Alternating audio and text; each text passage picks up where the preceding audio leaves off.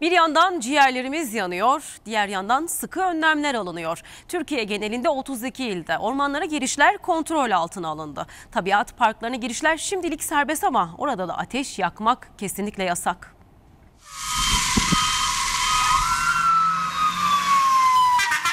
Maalesef Türkiye son dönemde orman yangınları ile ilgili çok büyük bir mücadele veriyor. 3 gün içinde onlarca noktada yangın çıktı ve 32 ilde ormanlık alanlara giriş yasağı getirildi. İstanbul'da da orman alanlarına girişler Eylül ayına kadar yasaklandı. Ormana giriş ve çıkışlar tamamen yasaklanmıştır. Ormanların en yoğun olduğu günlerden biri bugün cumartesi günü ve hava sıcaklığı oldukça yüksek mega kentte normal şartlarda piknikçiler ve mangalcıların akın etmiş olması gerekiyor Belgrad Ormanı'na ama görmüş olduğunuz gibi Belgrad Ormanı Vali Yerlikaya'nın açıklamasının ardından bomboş kaldı ve asıl sahiplerine bırakıldı. Karar bazı noktalar için esnek tutuldu ama o noktalarda da ateş yakmak kesinlikle yasak. Sadece bizim e, belirlediğimiz ilgili idarelerin ötesinde olan izinli park alanları gibi ya da mesire yerleri, piknik alanları, tabiat parkları gibi alanlarda sadece ve sadece piknik yapmak ve spor yapmak serbest. Ormana girişlerde her ilin kendi kriteri var. Elbette İstanbul'da da ormana giriş tamamen yasak değil. Sadece Orman Bölge Müdürlüğü'nün belirlediği bazı noktalarda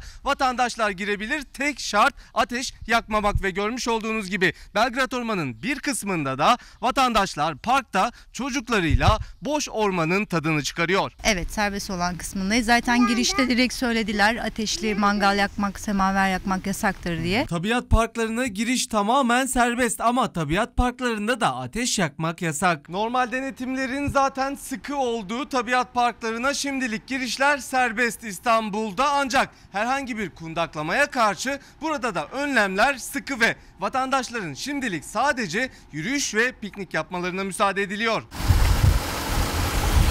Ormanda denetimler sıkılaştırıldı. Bir yandan polis ekipleri, diğer yandansa atlı ekipler kaçak girişlerin engellenmesi adına denetimlerini sürdürüyor. Yasak noktalara kaçak giren vatandaşlara cezai işlem uygulanacak.